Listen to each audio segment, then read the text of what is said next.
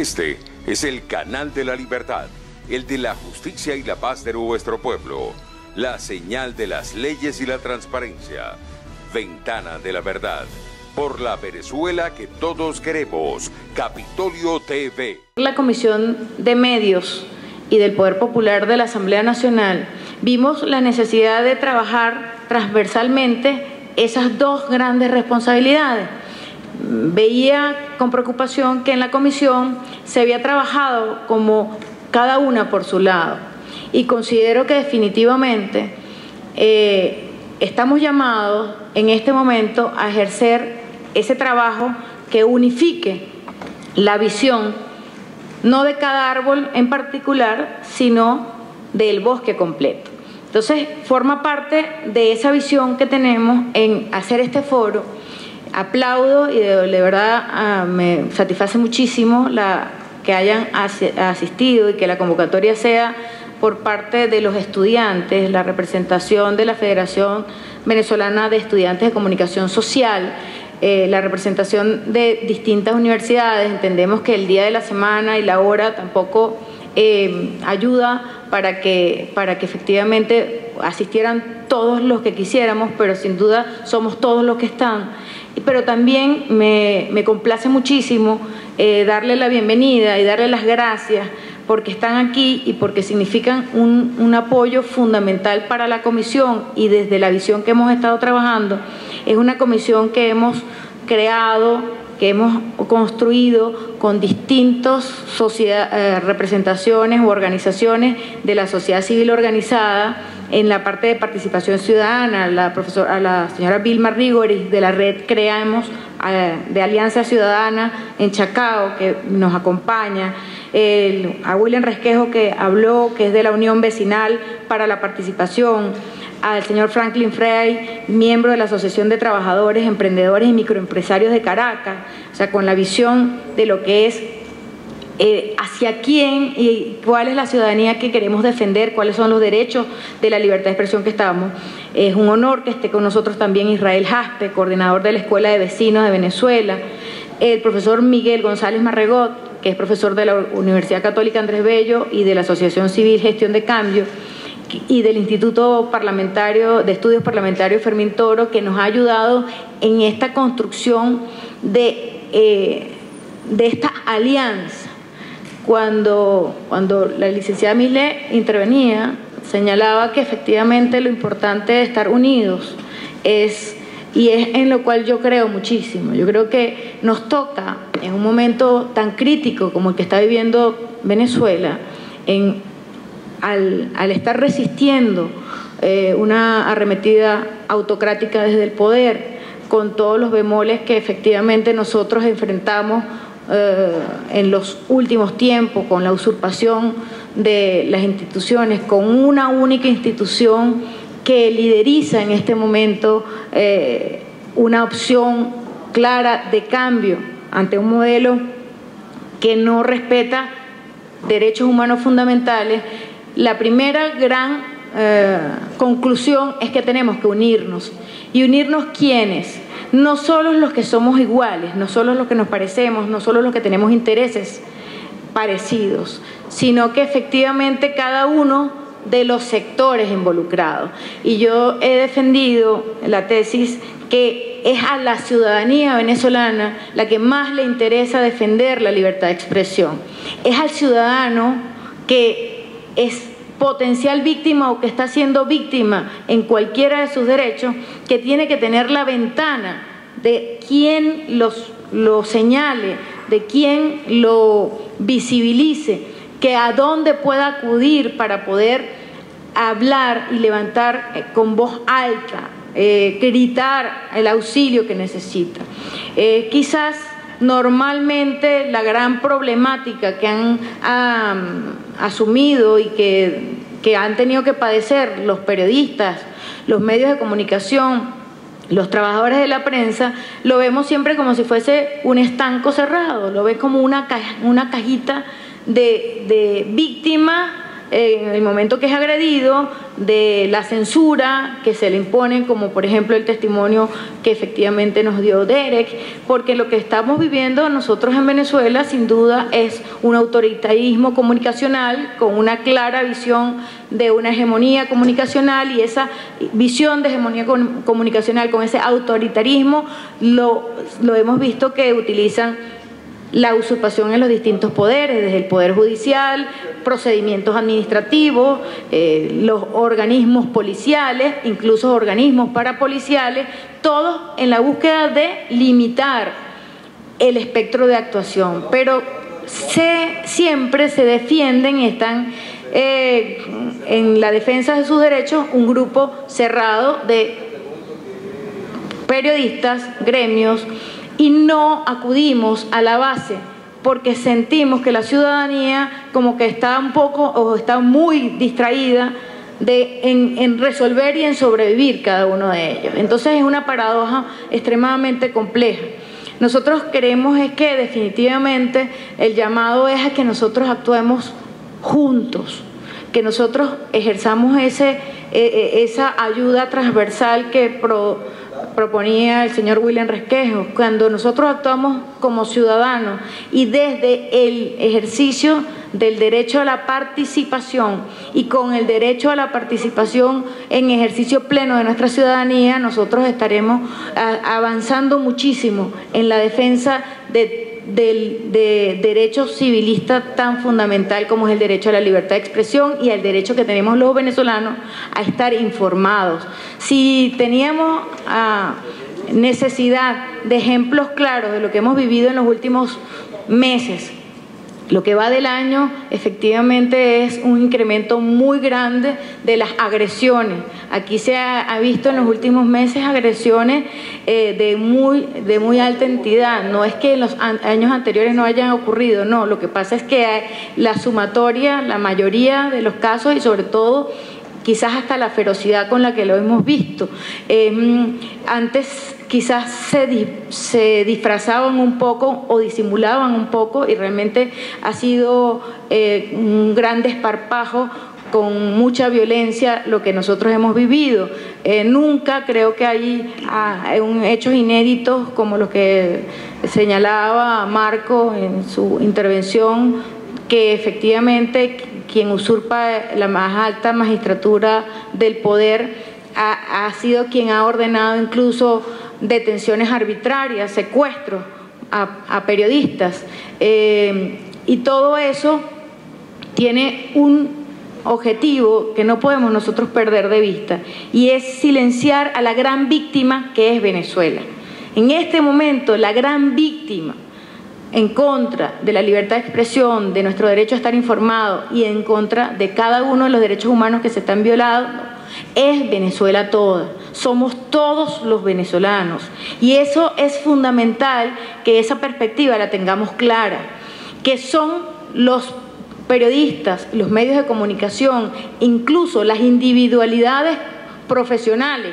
que han asumido eh, por la destrucción del aparato o del sistema de comunicación, como bien lo señalaba el licenciado Omar Lugo, que aquí se ha destruido total y absolutamente los sistemas, el, sistema de comunicación, los medios de comunicación tradicionales e incluso la persecución de lo que es la etapa de los medios digitales, que es muy grave, la violación reiterada a través de bloqueo selectivo, de, impedir ah, bajo mecanismos em, que no se hacen constar en ningún, de ninguna manera. Cuando nosotros veíamos en el, en el apagón, en uno de los últimos apagones, que las propias autocensuras de la radio se hizo presente y se señaló que efectivamente había habido una incidencia de alguna orden o de alguna llamada, porque no sabemos dónde fue que, cómo fue que dieron esa orden para que las propias radios se autocensuraran y solo hubiese música y las que tienen la narrativa de la mentira, la narrativa que desde el poder se pretende eh,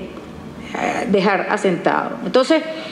Creo que este, este foro nos hace ver las distintas perspectivas desde, los, desde el sindicato, desde el colegio, desde las organizaciones no gubernamentales que se han dedicado de una manera sistemática, de una manera constante y sobre todo, además, que ha tenido y que ha tenido resultados y que tiene consecuencias, porque es fundamental que nosotros sepamos que no solo es que estamos nadando contra la corriente o no, no lo podemos ver como si fuese solamente un ejercicio de, de, terquedad o persistencia. Tengamos claro que hemos tenido grandes logros por el trabajo encomiable de todos los que nos están representando y quienes están aquí acompañándonos hoy. Porque tenemos pronunciamientos fundamentales, por ejemplo, de la, de um, Comisión de Derechos, eh, ¿cómo se llama?, de la Corte Interamericana de, Derechos Humanos en la Relatoría Especial, donde el informe de este año habla claramente y señala claramente que en Venezuela está específicamente determinado la violación de derechos humanos como una accionar directo del Estado. Tenemos que tener en consideración que efectivamente es el Estado el responsable de prevenir, es el Estado el responsable de, preservar y de hacer justicia para que haya libertad de expresión. Pero resulta que en, en Venezuela pasa todo lo contrario. Es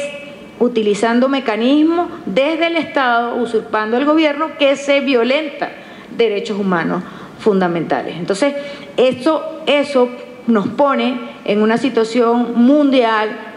que tenemos que seguir visibilizando. No estamos perdiendo el tiempo, no estamos eh, nadando contra la corriente. Creo que nos ha tocado un momento histórico extremadamente complicado, extremadamente difícil, pero que sin duda estamos a las puertas de lograr un cambio definitivo y que nos compromete entonces ya hacia unos retos y a, y a, una situación que quiero que entonces veamos así la parte positiva. Si bien tenemos tantos obstáculos, tantas amenazas, tantos peligros como las que se han visto señaladas aquí, también tenemos retos y tenemos desafíos porque tenemos una potencialidad. Si nosotros logramos lo que aspiramos lograr en los próximos tiempos, que es generar un cambio estructural en Venezuela, también tenemos retos y desafíos en función de ponernos en sintonía con el mundo. Cuando Omar hacía referencia que tenemos el Internet más lento del mundo, cuando tenemos las grandes dificultades porque antes nosotros fuimos pioneros en medios de comunicación y ahora estamos rezagados teníamos muchísimas limitaciones. Cuando hacía Marco la referencia y que además le agradezco que efectivamente como institución se nos, se nos exija y se nos ponga en contexto de que como Asamblea Nacional tenemos retos por que encarar en cuanto a la legislación, cuando nosotros sepamos que efectivamente es nuestra sabemos y asumimos que es nuestra responsabilidad que no haya posibilidades de que se criminalice la libertad de expresión y el ejercicio del periodismo. Cuando nosotros tenemos, por ejemplo, el gran reto de que se, incluso desde la usurpación que tenemos aquí al lado, en, esa, en la Cámara protocolar de al lado, en el hemiciclo protocolar, que de ahí se dictó la ley contra el odio, que es una, es una absoluta, es para incentivar el odio. Esos son los retos que nosotros y los desafíos que nosotros todos tenemos, desde la institucionalidad, que es la Asamblea Nacional y que me honro en este acto en representar, pero desde la, sociedad civil organizada, que constituyen pues todos los que debemos participar, involucrarnos y aportar. Y en este punto, pues entonces hago un llamado, creo que de este foro debemos continuar generando proactivamente esas propuestas ante los retos y los desafíos que queremos, porque yo sí sueño y yo sí estoy convencida que ustedes van a ser periodistas de una nueva Venezuela, donde ustedes van a tener las posibilidades, donde ustedes van a tener herramientas, donde ustedes van a tener la posibilidad de desarrollar todo ese potencial. Y en ese momento y en esa Venezuela, ustedes van a tener la posibilidad de decir, yo fui protagonista de la construcción de esto que nosotros estamos viviendo. a mí me llena muchísimo orgullo cuando escuchaba a Omar referir esos grandes logros que en el pasado efectivamente teníamos con pilares fundamentales, eh, ejemplos mundiales eh, y en Latinoamérica, como por ejemplo lo que era la cadena Capriles y el mundo y los planteamientos que desde allí con grandes profesionales hicimos, pero yo estoy segura que lo que viene va a ser mejor. Yo estoy segura que nosotros podemos construir esa Venezuela que nos merecemos, esa Venezuela donde haya servicios de calidad, donde no nos tengamos que eh, solo mortificar de sobrevivir, donde un apagón de energía eléctrica no condene la angustia que nosotros hemos vivido. Yo creo que una de las cosas que más ha reforzado en, los últimos días, eh, la necesidad que todos tenemos,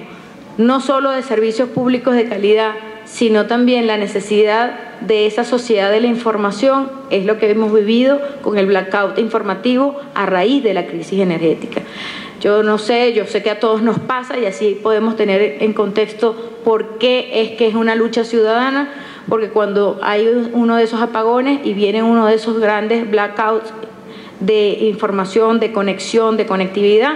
uno se siente que está absolutamente perdido. Y si más allá, cuando la electricidad regresa, no tienes información de ningún tipo, ninguna fuente de información fidedigna, no hay eh, ninguna, ninguna fuente donde tú puedas eh, informarte de que efectivamente qué fue lo que pasó, más nos tiene que comprometer en esa lucha que debemos dar todos para asumir esos retos y esos desafíos a través, por ejemplo, de propuestas al plan país. Vivimos tiempos muy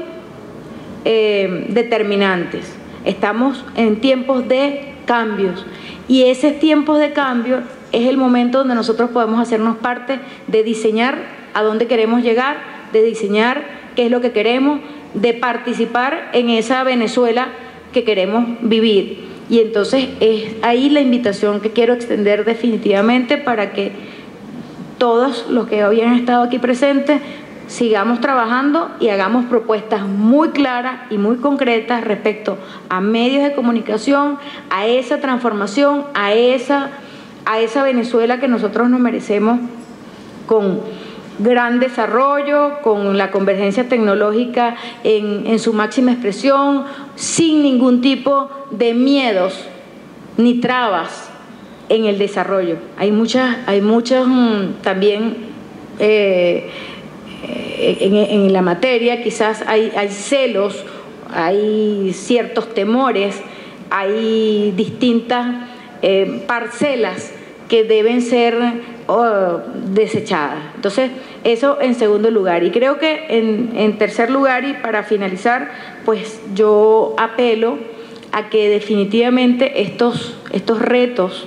estas, eh, estos desafíos que tenemos por abordar, no solamente hablan de que nosotros participemos para lograr ese cambio y dejar atrás el oscurantismo de la violación de derechos humanos fundamentales eh, como los que señalamos, que participemos en el diseño de una Venezuela que vamos a construir con pleno desarrollo y con, con potencialidades, sino también un compromiso que estos 20 años no pueden quedar solamente con una referencia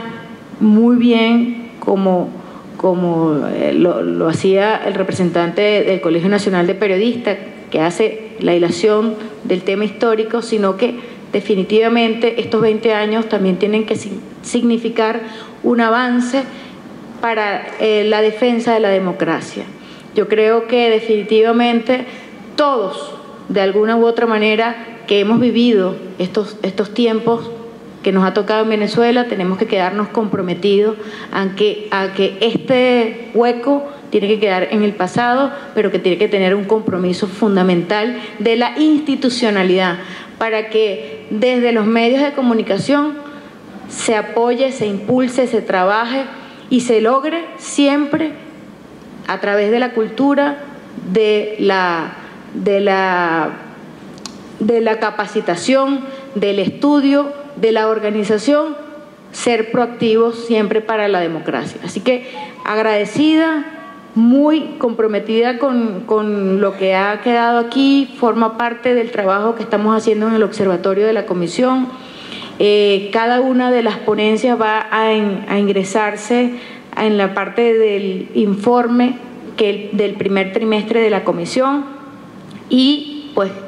seguimos en contacto para seguir eh, en este canal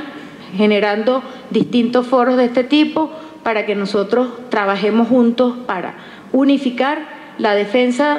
de la libertad de expresión, para hacer todo lo necesario para defender nuestro derecho a la información y sobre todo para que entendamos que son derechos humanos fundamentales que nos competen a todos y que es responsabilidad de todos, no solo de los, de los alumnos, de los futuros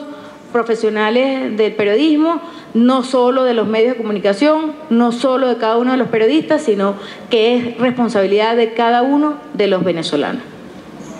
Este es el de la